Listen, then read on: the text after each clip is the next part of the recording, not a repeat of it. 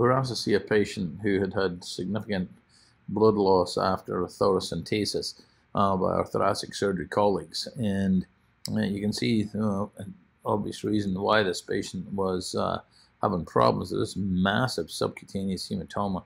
This patient had lots of comorbidities, and thoracic surgery really felt like trying to track down uh, a bleeding source, and amongst this hematoma would be somewhat fruitless. So they asked us to see if we could any option for embolization here.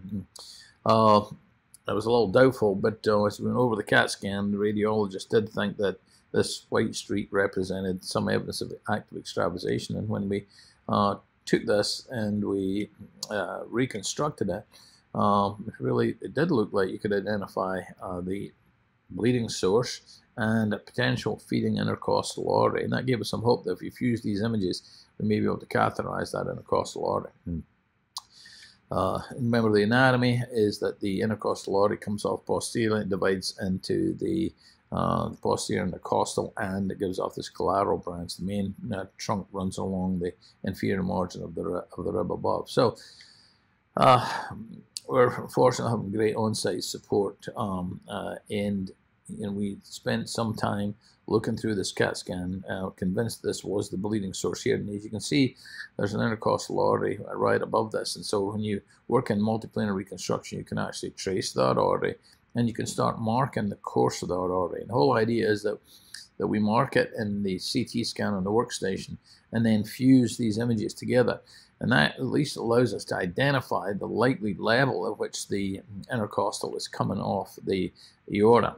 Now, I've not done many of these. Um, tried a variety of different catheters to get in there. Actually tried to burn going from below. And again, I've got an obvious target here and still had trouble accessing it. Um, eh, the green line, of course, represents the fused image of the course of the intercostal artery. And I'll show you just how accurate some of this fusion actually is. We then turned around and tried to reform a Simmons. It's obviously too big. Um, and it wasn't until the recommendation of one of the new radiologists we got this uh, uh, MIK catheter, which they use for catheterizing um, intercostals when looking at spinal AVMs.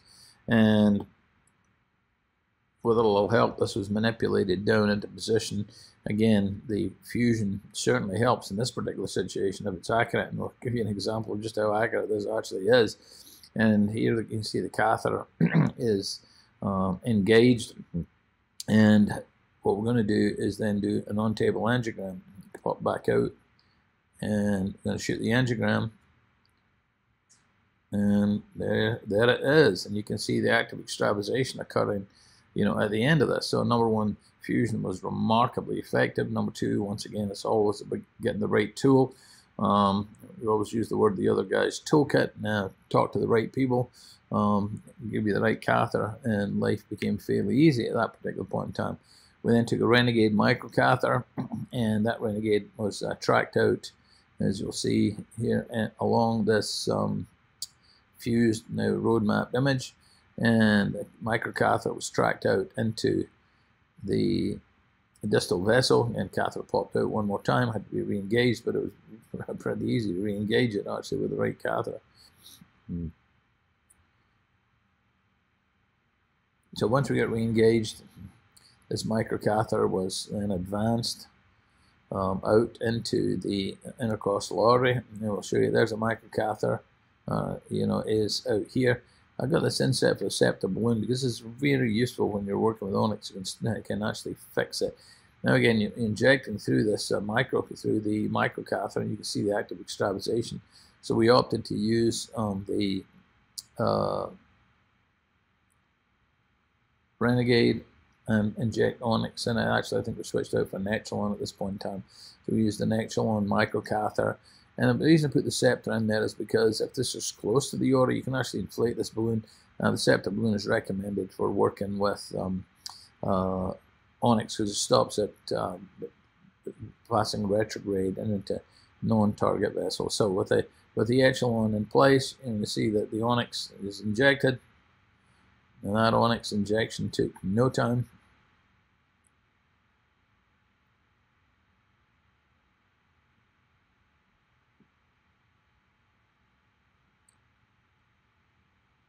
The whole is now full of Onyx. So.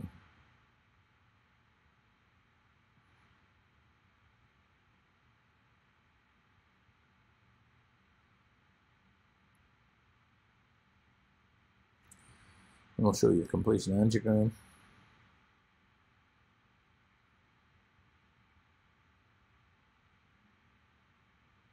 That's just a cast of the entire artery, which has now been filled with uh, onyx. And the bleeding stopped. Um, the hematoma was never evacuated. Of course, they got black and blue top to bottom for a period of time. Um, but this was an incredibly effective way of uh, dealing with this problem.